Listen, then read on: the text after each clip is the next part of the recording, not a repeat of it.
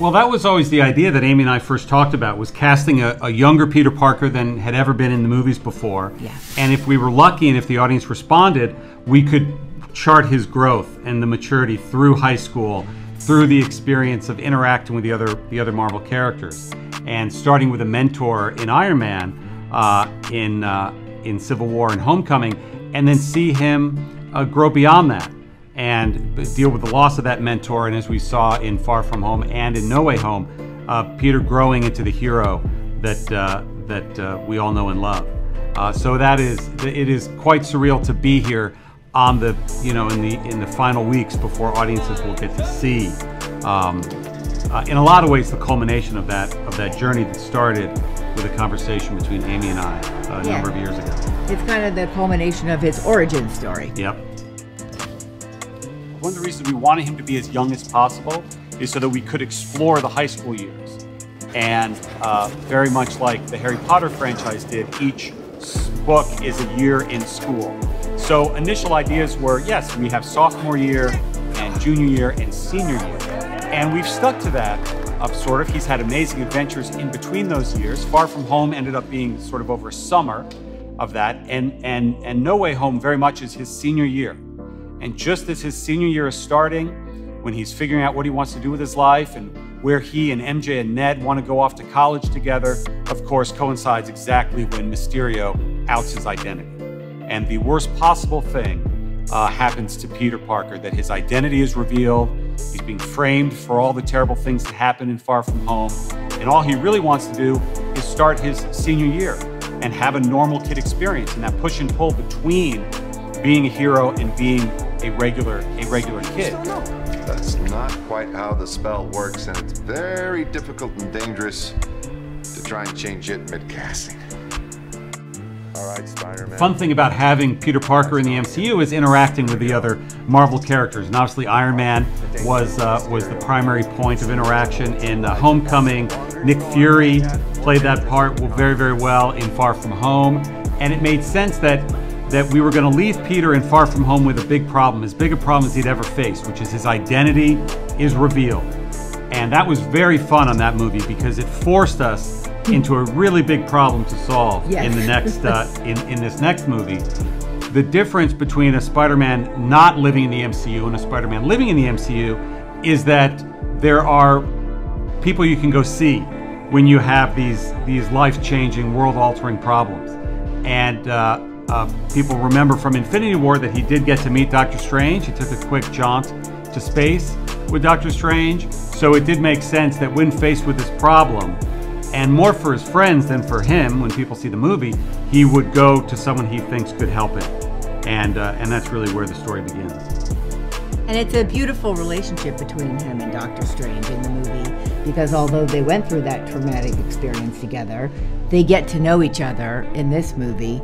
And Peter goes from, you know, Stephen thinking of him as a kid with some extraordinary abilities to being a full fledged hero in and of himself.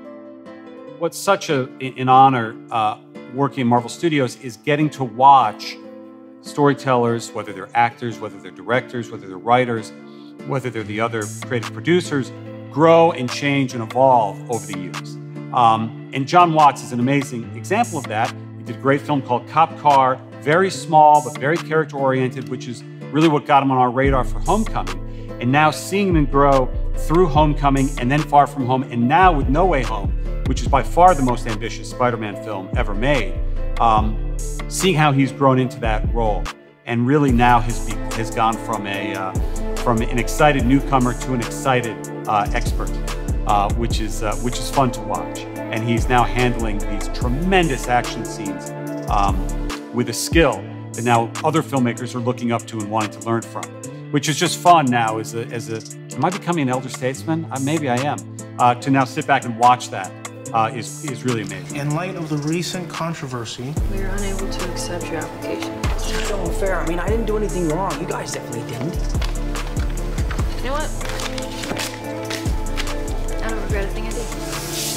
Just sort of sitting in a circle talking through talking through the story and trying to sort of discover it together and find the nuance it wasn't like you know, you sit down at your computer, print out the pages and say, this is what you're gonna say, you know. It meant so much to everyone there uh, that I just wanted to really discover it with them. And it became this like really cool, so again, surreal is the word I keep coming back to, like collaborative process.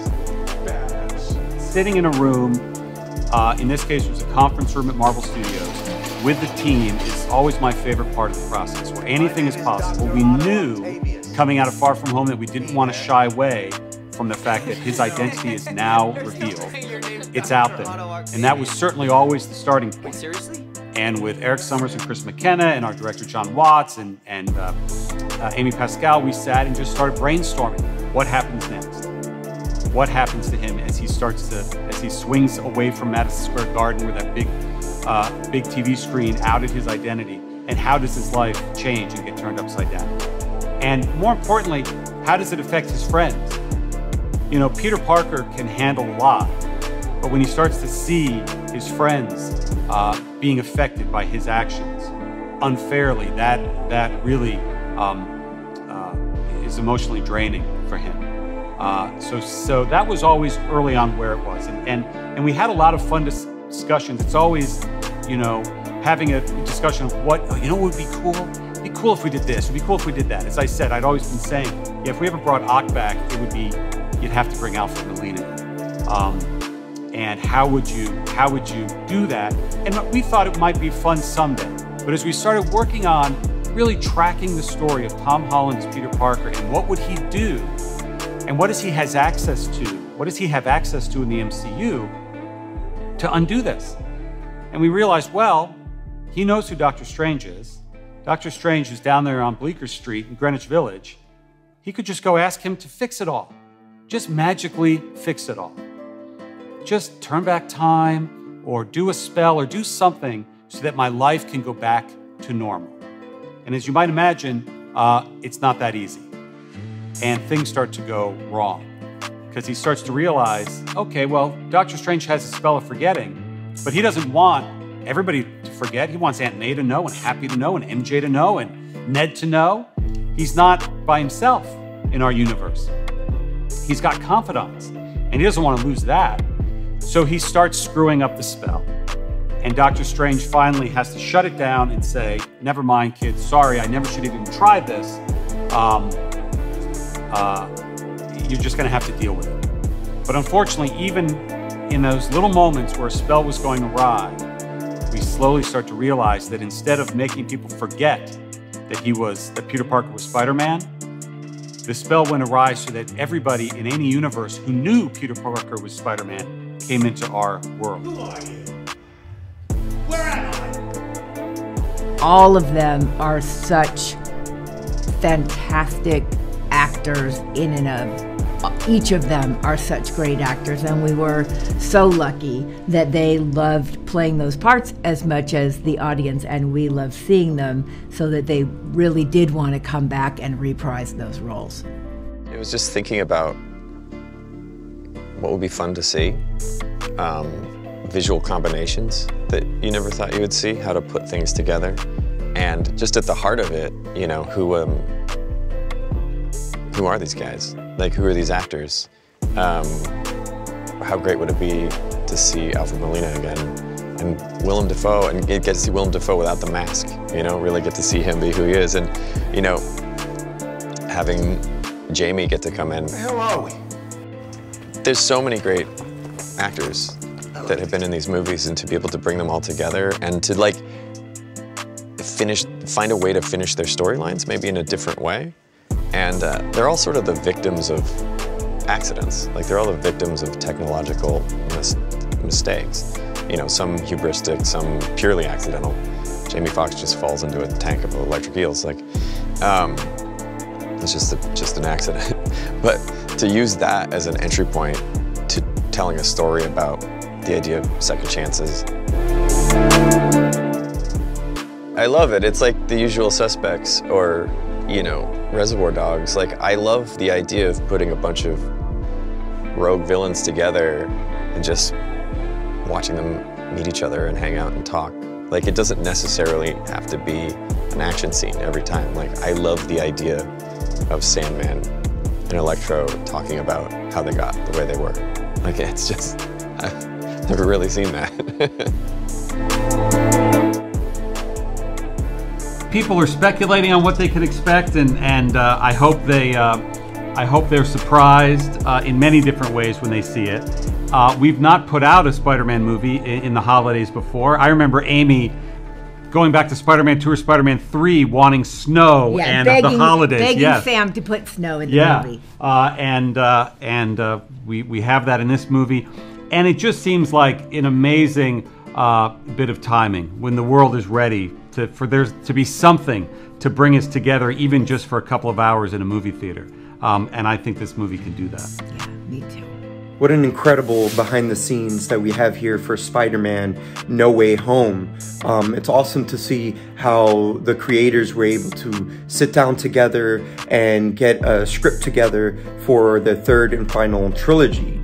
Um, it's phenomenal to see how they put the trilogy together um, and get the, the multiverse in there as well. As you can see, there's really some cool stuff here in this behind the scenes. But did you know that they filmed this whole movie and most Marvel films in Atlanta? Atlanta's like the third um, Hollywood, basically, but it's basically number one right now in tax incentives. So let me know down in the comments down below if you enjoyed this behind the scenes. Let me know one of your favorite um, uh, Spider-Man characters out of all of them, if you've seen the film and or of the of the Spider-Man villains. And I'll see you here next time.